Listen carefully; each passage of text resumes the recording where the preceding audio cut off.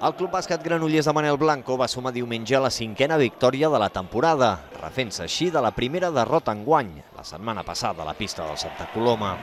Davant del Sant Gervasi, els granollerins van tornar a brillar a un bon nivell, aconseguint la victòria per 86 a 67, en un partit que van dominar de principi a fi.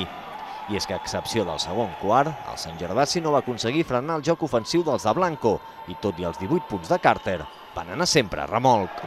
Bueno, un partit que ens ha costat des de bon principi entonar-lo, perquè tot i que hem marxat de 10 punts, ells han estat molt bé, molt serios, molt sencers, però jo penso que el tercer i quart període nostre han estat molt bons.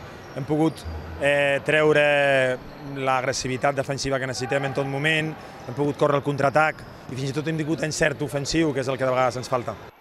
Pels granollerins van tornar a destacar els números de Carles Oms, amb 15 punts, i Ferran Nadal, amb 14. Un partit que confirma el bon inici de temporada dels de Manel Blanco, que porten 5 victòries i només una derrota.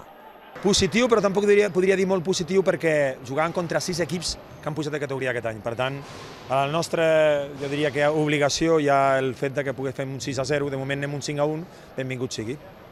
Després de sis jornades, el Club Bàsquet Granollers ocupa la quarta posició de la taula i la propera jornada visitarà el líder, el Mataró Parboet. Una oportunitat d'or per continuar en la pomada per les primeres posicions i mesurar forces amb un dels grans de la Copa Catalunya.